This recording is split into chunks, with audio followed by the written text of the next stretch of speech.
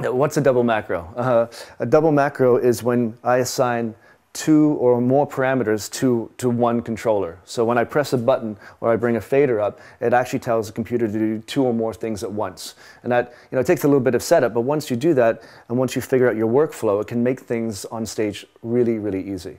So for instance, I said earlier, when I punch loops in and out, it actually takes, it starts a loop or ends a loop, and at the same time changes my sync parameters to keep things in time for me. Uh, a good example is also when I'm searching for music. Uh, you know, I always see my four decks in front of me, but as soon as I go into search mode, um, going into my browser, you see that I clicks, the, the screen changes, I see the, the deck smaller, and I have much more room to see what track I'm looking for. And then as soon as I find the track, I'm going to assign it with my assign keys here. This button right here will actually load this track into record A.